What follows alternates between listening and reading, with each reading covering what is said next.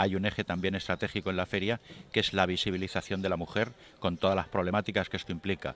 En esa línea, desde luego, eh, hemos diseñado todo un conjunto de actividades relacionadas con brecha salarial, con conciliación, con problemas de género y sobre todo con la visibilización de la mujer en los mercados de trabajo. En el caso de la industria editorial y la industria del libro en general, la mujer representa un porcentaje muy mayoritario sobre los hombres.